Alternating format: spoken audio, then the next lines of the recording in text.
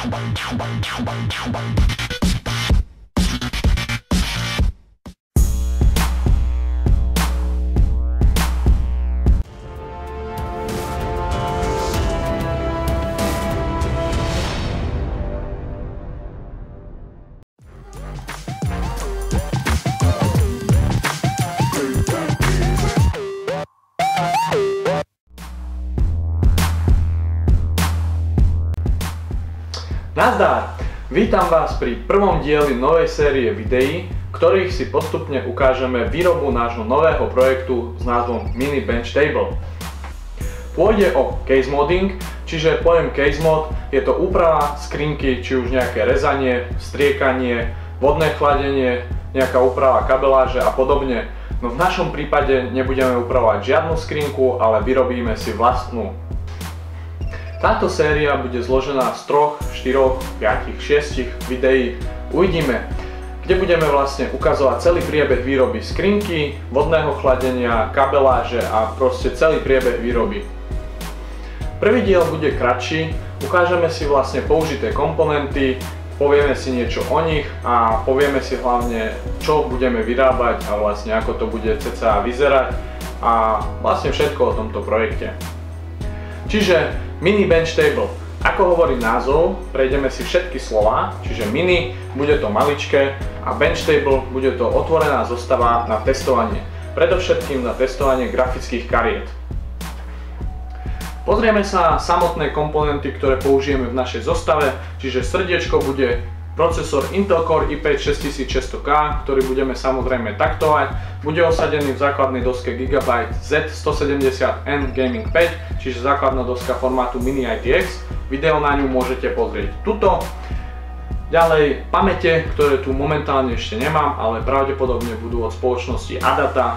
Taktiež SSD momentálne nemám vybraté, čiže to sa rozhodne v ďalších dieloch. Ďalej, uh, poháňané to bude strojom Fractal Design Edison M so 750 W. M značí, že je to modulárny zdroj.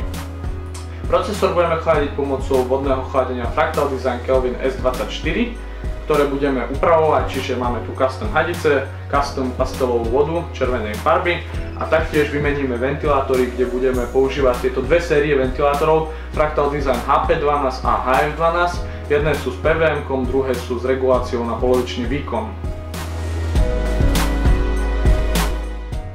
Zostavu taktiež podsvietime, máme tu pripravený RGB LED pásik s diaľkovým ovládaním, čiže budú podsvietené pravdepodobne logá týchto firiem, uvidíme. A niečo v skrinke bude použitý slzičkový plech, teda oceľový slzičkový plech a plexisklo. Mohol som kľudne použiť aj hliníkový plech, bolo by to samozrejme oveľa ľahšie, ale hliníkový plech nemá taký pekný ten dizajn tej slzy, čiže preto som zvolil nakoniec ten oceľový. Ešte niečo o vodnom chladení. Ide o fakt šikovné all-in-one vodné chladenie, keďže ho môžeme customizovať, čiže meniť fittingy, hadice, kvapalinu. Taktiež vieme do okruhu pridať ďalší radiátor a taktiež ďalšiu pumpu alebo napríklad ďalší blok pre grafickú kartu. Je to dobrá voľba pre niekoho, kto sa momentálne nechce s tým nejako veľmi hrať, ale do budúcnosti rozmýšľa nad nejakým upgradeom. Obsahuje to tichú pumpu, pri ktorej si vieme regulovať tie otáčky a taktiež to dokáže veľa uchladiť, ako napríklad aj ten i7 6950X pri nejakých slušných teplotách a nejakom menšom OC projekte si samozrejme vyrobíme aj vlastnú kapeláž, ktorá bude zladená do sivej a červenej farby, aby to ladilo či už so základnou doskou alebo s našou oceľovou skrinkou, ktorá bude iba lakovaná.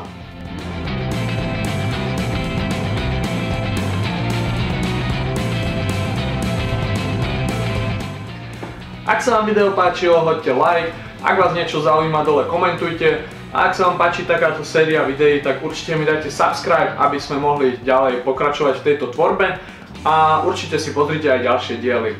Čaute!